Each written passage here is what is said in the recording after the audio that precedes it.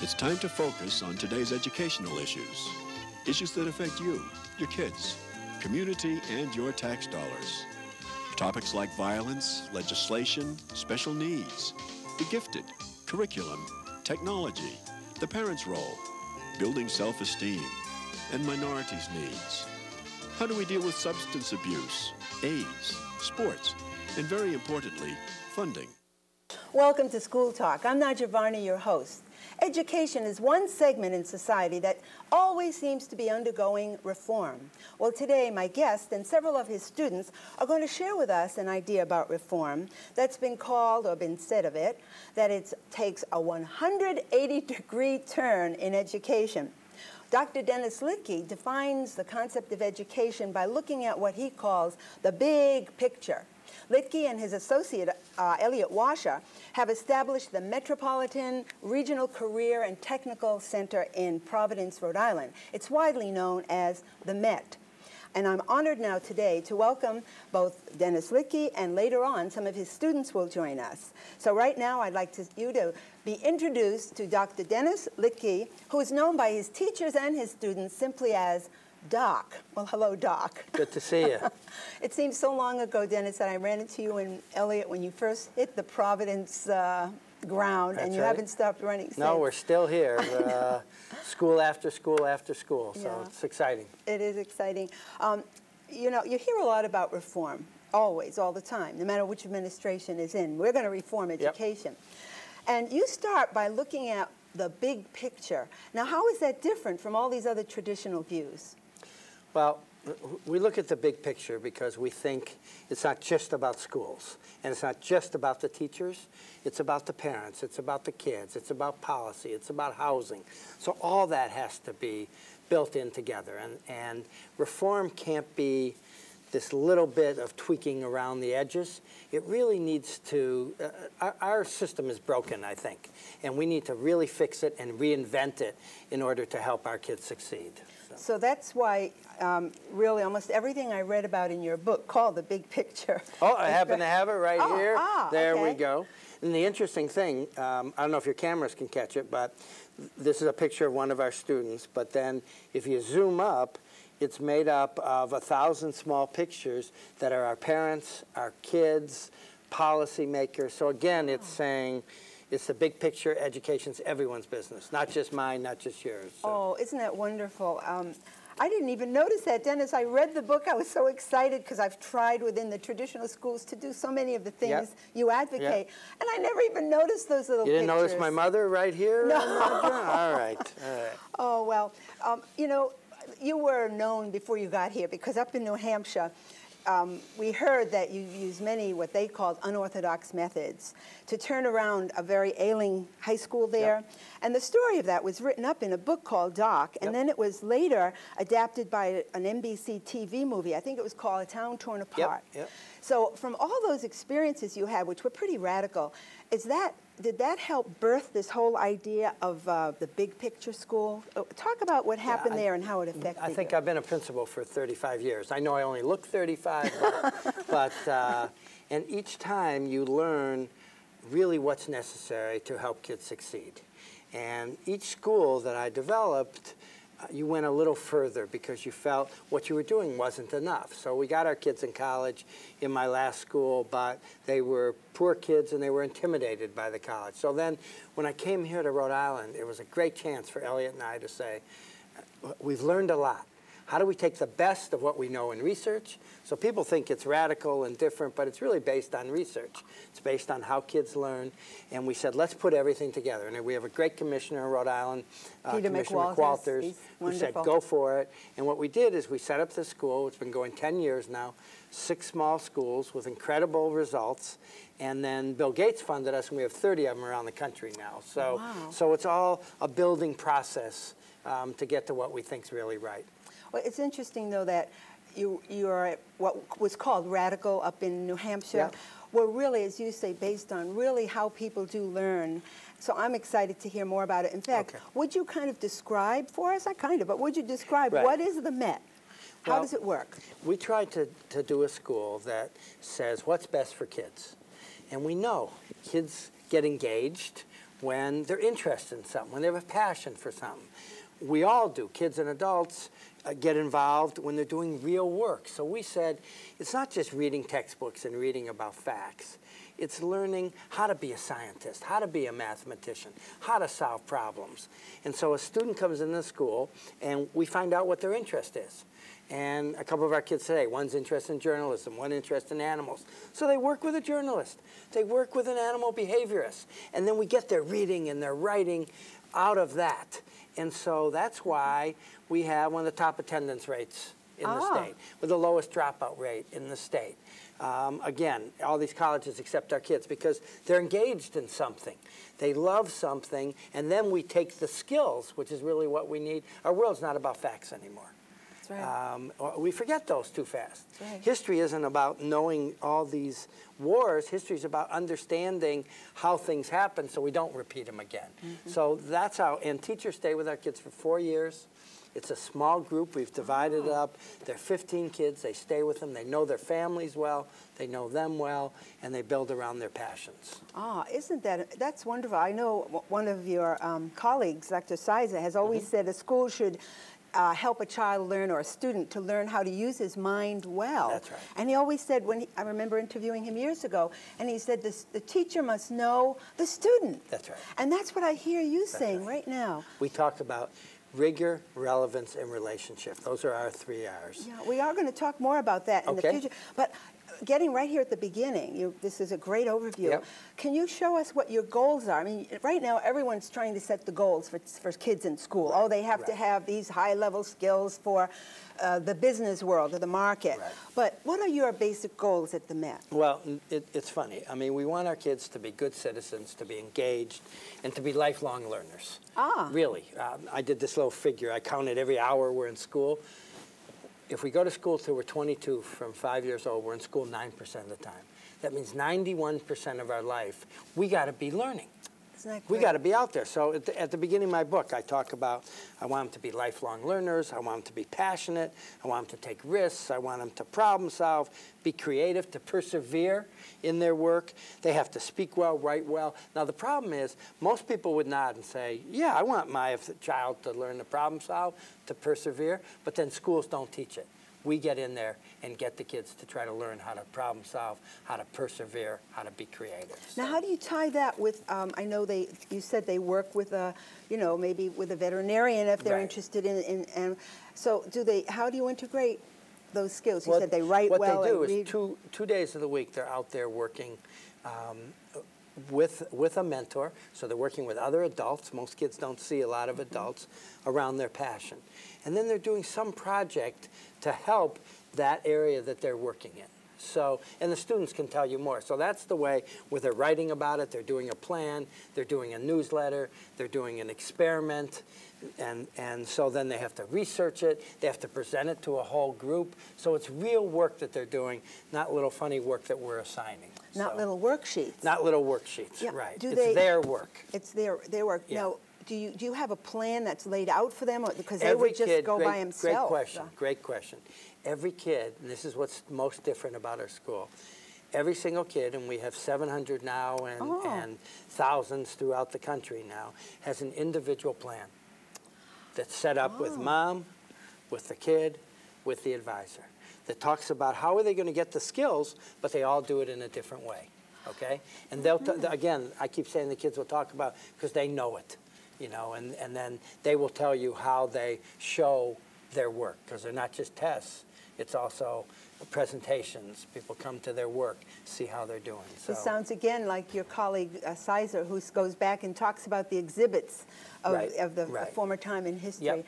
Well, thank you so much, Doc. am I done? No. We're, well, we're going to bring on some of your students, maybe That's the one at a part. time, Yep. and we'll share with both of you their perspective as well as yours. And we will try to take a closer look in the next few minutes at how it really is structured, what they, how you've changed the actual structure of a school. Great, great. Okay, we'll be Very good. right back. You've got to hear from these students. This is the real world. We'll be right back.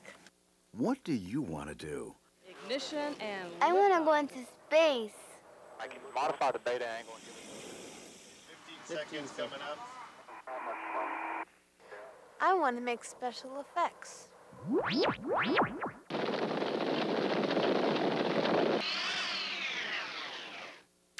Math. It's our future. The more mathematics we know, the more opportunities we'll have. Dr. Littky, or Doc, as you like to be called, I know I read somewhere in your book, The Big Picture, you say if we care about kids more than we care about schools, then we must change the schools. And we're, I'm going to put this, while you think about that, Yeah. I want to introduce to our audience a very precious person who has joined us, whose name rhymes with precious, and her name is Sanchez. Mm-hmm. Sanchez Moore, who's a student at the Big Picture School, the Met in Providence, a senior this year, I understand. Yes. And we're going to be giving you a few questions in a moment, too. Okay. So I hope you're ready, and I'm just so delighted to have you join us. Thank and I know Nice Doc wouldn't come on without his students, so I'm so happy you're here. So I've given you a chance to think about what you wrote. Now tell us, how have you overhauled the structure of the Met? Uh, we completely, when Elliot and I started, we kind of closed our eyes and said, if we didn't know there was such a thing as school, what would it be? And I don't think anybody, if you were starting from scratch, would put kids in a room for 45 minutes and ring a bell and move them to another room for 45 minutes, ring a bell. If you were homeschooled, you wouldn't do that. You wouldn't have them in the kitchen, then move them to the living room, move them to the bathroom. So we said, mm-hmm. let's really look at every kid, let's put them with a teacher for four years, give them an individual plan and let them follow their interest and passion and help them making sure they're reading making sure they're writing making sure they, they learn about what is history and how it affects them.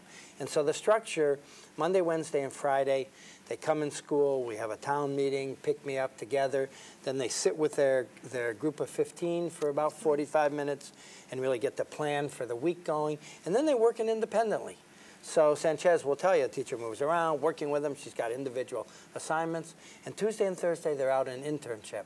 And teachers are there making sure and helping them do good stuff. So that's the general structure of it. And, and she can tell you a lot more than me. She does it every day. Yeah, and, uh, but you're the principal of Yes, the school. I'm the director of the school. Director. Uh-huh. So we got, kind of have an idea. So I'm going to ask uh, Sanchez now, how, um, how has the way this school is set up, you know, the way they do school, as we might say, at the Met, how has that helped you? And you might even tell me why you decided to go there.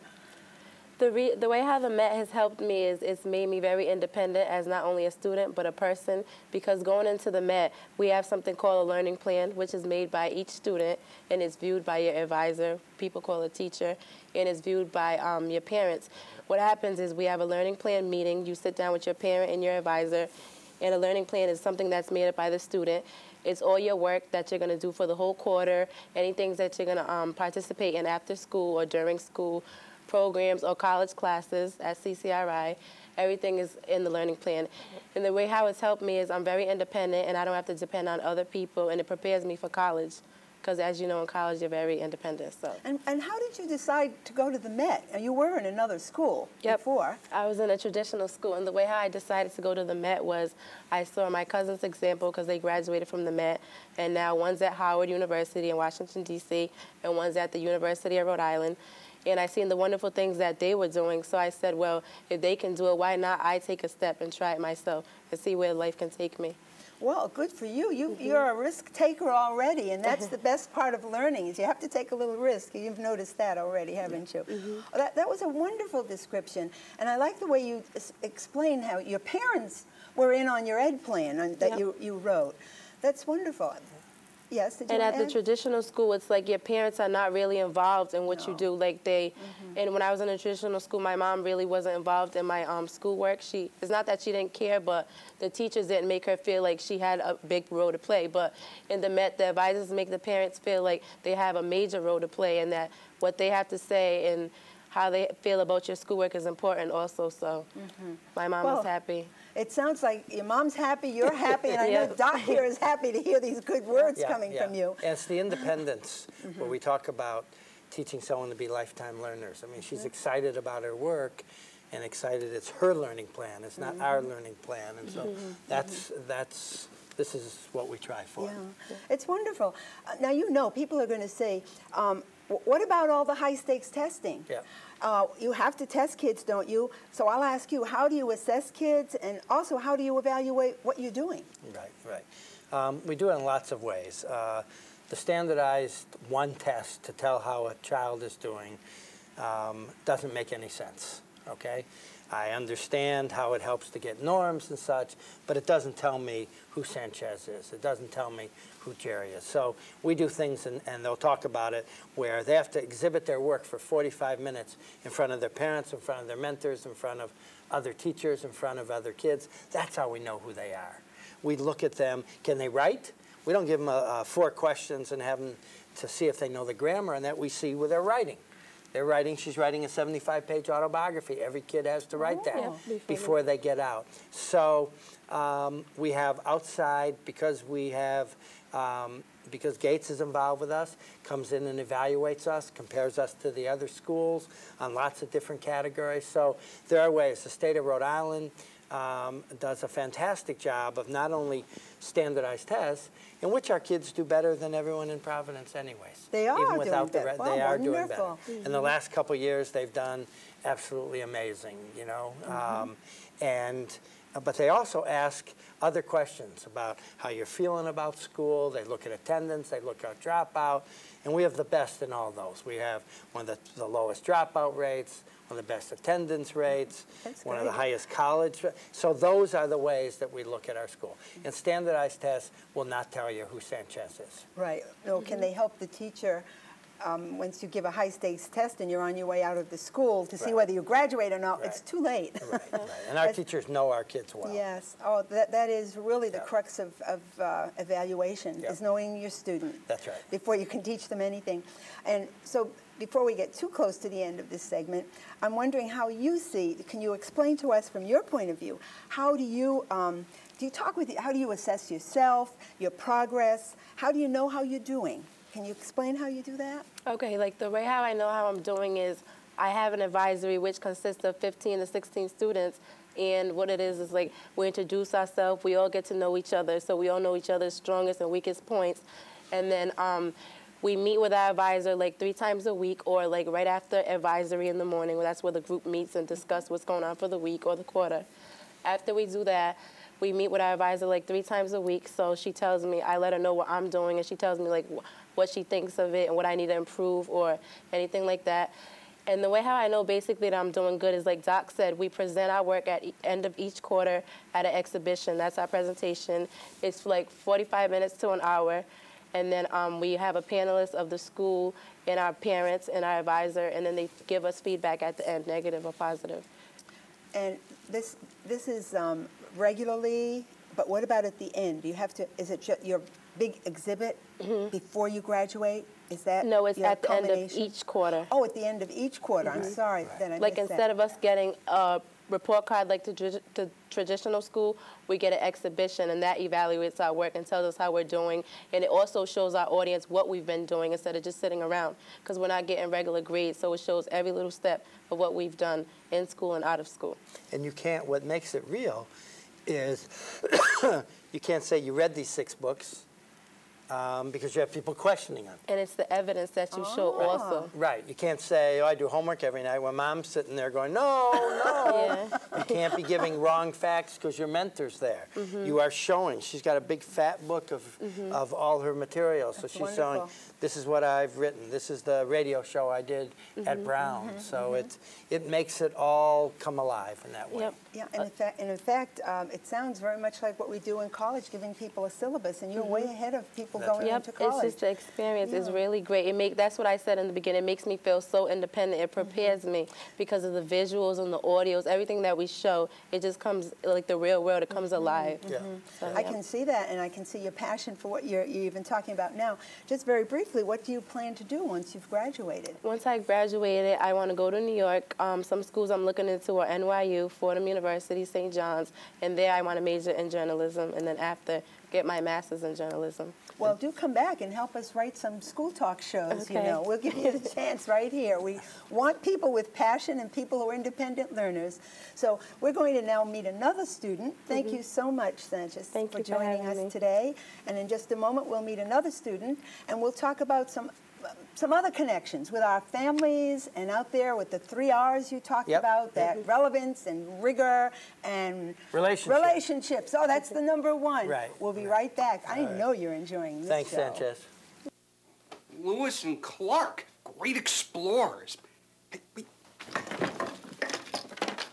Hey, wait. Hi, I'm Thomas Jefferson. Would you check out the West for me? Oh, sure. And they take their keelboat up the Missouri. Oh, Buffalo! Then they built Fort Mandan. They're at 1804. Made some friends along the way. I'm Secretary Will. Through the Columbia Gorge. Ah! There are tons of ways to help with your kids' learning. Find the really good ones on connectforkids.org. A sweet Pacific Ocean. Yeah! And now joining us, along with Doc, Dr. Dennis Littky, is Geraldine Mejia. Am I saying it correctly? Yes, you are. Yes, thank She's you so been much. practicing I've been for a while. right, I think I have it right. Um, and you like to be called Jerry? Yep. And what year are you in? I'm in a the Met? junior. Mm-hmm. You're a junior at the Met. Well, I'm going to start by asking Dennis a couple of things, and then I'm going to come to you. But thank you so much for joining me on the set here. Thank you. Now, Dennis, the phrase that comes up over and over in your speech and your book is parental involvement, parent involvement. But from what you've been saying and what I've read, that means something very unique at your school. So, would you talk about how you have parent involvement? As I said at the beginning, education is everyone's business. We can't, in a school, hope to do all the work ourselves. And you heard Sanchez talk about moms there for her exhibition. Jerry will talk about that a little bit. Um, we say we enroll families, not just enroll kids. So that means we say to a parent, you got to be committed to be working with us. And so uh, the advisor is working closely with the mom, with the grandma, with somebody. They come into exhibition time. They come into learning plan meetings. They come in to festivals. So we say this is a whole family thing because who's the child's first teacher? The parent who knows them the most. So it's not like we don't pretend we're out here knowing it. So we try to get that whole family involved. Mm-hmm. And So- even with both parents working and those kinds of things, how do you get around that? Well, we work very hard at it because that's our commitment. So um, sometimes advisors go to people's houses late at night when that's when they come home. Sometimes if parents are busy, we're working with a grandmother. Uh, we really work hard and the student works hard to, you got to help do this learning plan. You got to come in. So if it's a priority, we can make it happen. So. Well, Jerry, I'd like to hear how what it happens with you. How are your parents or your family involved with your learning? Well, like Sanchez says, uh, we have our learning plan meeting, and usually my mom does work really late, and Michelle will come over to my house around 7 o'clock. Who is Michelle. Michelle? my advisor, and she'll sit there, you know, have dinner, play with my dog, and we'll do our learning plan meeting. And basically, like for example, if I have too many stuff on my learning plan meeting, and my mom knows that I can't get that done in time uh, for the quarter, and she knows I'm gonna get stressed, she'll like let Michelle know, you know, I know how Jerry is. I know she gets stressed easily, so you know, I think that we should cut some things off. And like we have our exhibition, my mom will come, and like my grandmother, she came to my exhibition once, and like she knows I work with animals. She knows I love my dogs. Ah. I love learning about animal behavior, but she always asks me like, oh, how can you work with these animals? They stink. when she came to my exhibition, she saw that I was passionate, and she was there for me, and she gave me my feedback, and she, you know, let me know like I'm proud of you. You know, I didn't know that's what you were doing all this time over there. So my mom does have a big part of like of my education. Like she's there for me a lot. So. That's wonderful. So, and she's very feeling very pleased about it, obviously. Yeah, she's really excited. She's just happy that like, to see me glow and stuff because before I like in a traditional high school, um, in traditional school, I wasn't as confident as a student, so I was like really you know well insecure about my education. I feel like I was stupid. So when I came into the Met, like now I'm glowing. I'm not afraid to talk to people. I'm more social. Before I used to be shy and like she's just like proud. She's proud to see me happy and like she's just she, like she sees my face when I talk about dogs and like how passionate I am. So I've been having fun. And now you're on TV, I know. the little shy one. yeah. Well, thank you so much. That was a beautiful explanation. I really appreciate that. Um, and Dennis, you keep speaking about the three R's Mm-hmm. relationships, relevance, and rigor. So um, this You takes. finally learned them. I, yeah, I got very them down. Actually, I was looking down at my card. All right, all right. But Take that um, this card away. leads to uh, your students working in the outside world. Mm-hmm. Just now, um, Jerry just mentioned working with animals and, Yep. and outside the school. So would you talk about that, how that all works? Well, relationships, doesn't matter what structure you have, if you don't have that relationship with the student. I mean, you heard her talk about Michelle comes to my house. Who's Michelle? Michelle is a certified teacher who works with her, who has a relationship with her. And, uh, and Jerry would do anything for Michelle because they have that relationship. She's Michelle like would do- mom. yeah, she's like your She's like second your mom. mom. They call this a second home. So it's that relationships, not just because we need good friends, but because that will help us with the next levels, okay? Mm-hmm. Then the work needs to be relevant. when you hear Jerry May talk about her work that she was doing at Brown University, that she's doing after school, that she's volunteering on, that she wants to follow through on, that, that work is relevant. So she's reading like crazy. She's thinking like a scientist. So that's very important. Even if you have the relationship, then you have a course that doesn't mean anything, doesn't connect. And then rigor's the important thing because back when schools like ours, sometimes we're compared to the schools back in the 60s, were nothing like that, no. okay? Uh, those were, oh, you do this nice picture, you do this nice collage. This is the 21st century. We have to be very rigorous and deep about our work. So we got to really correct it. No, uh, that's not right. You got to explain it better. You got to do it better. You need more resources. So those are the three things that we think really make up what a powerful school can be. So. Well, Jared, maybe you could just tell us briefly, the time flies by here, wh- what you did outside with animals or in some of your outside work. Well, when I first came into the Met, I wasn't sure what I wanted to do. I was looking more into the performance art. And I had a hard time because a lot of students at the Met are interested in that field. So then I was thinking, you know, before when I was in middle school, I used to, you know, be the little one in the side reading my dog books and stuff. So I was like, why not try a shelter or a vet? So I got in contact with a local animal shelter in Providence, and there I met my mentor, who she, I, we, still, we still stay in touch. But we um, got together, and I decided to have an internship with her, Katina Jones, and she's a master's degree animal behaviorist. So my ninth grade year, I was working with her, part of Brown University, with a program called the Canine Behavior Program. So there I was training dogs and doing basic um, obedience training with them, and just you know kind of to, like get to know dogs and breeds and how they behave. And then for my 10th grade year, she moved on to a higher um, position, and she was uh, she was at the Rhode Island Society for the Prevention of Cruelty to Animals. So basically, what I was doing there with her is I was evaluating the dogs, temperament evaluating them, and getting a hands-on experience on socializing them, learning about their behavior. And I did a lot of science work, like learning how to use ethograms and studying to be an ethologist. So I had a lot of um, animal behaviorist stuff there. So, and currently right now, I'm working with the vet just to kind of have the vet background to see how it is. But me and my mentor still stay in touch. And like on Tuesdays around seven o'clock, I'm with her at night, and I'm basically doing dog training with her. So. Well, thank you so much. That That's was a passion. wonderful. That is That's passion interest, and that's, personified. you know, it's all the three you, R's you don't all stop together. working when you when you're passionate about. That's right. like that. Well, thank you both so very much for joining me today. And believe it or not, our time is up. Oh my God! So, well, thank you, and maybe we'll have you come back again. We'd like to hear more. All right, and thank you for supporting education. You're way you have, welcome. so. You know, critics have said that this American preoccupation with reform is like moving the chairs around on the Titanic. Well, it seems to me that the big picture schools have built their own vessel, and people are sailing away with great passion. It seems to me that the concepts and the successes of this big picture school project should have a huge impact on our school talk.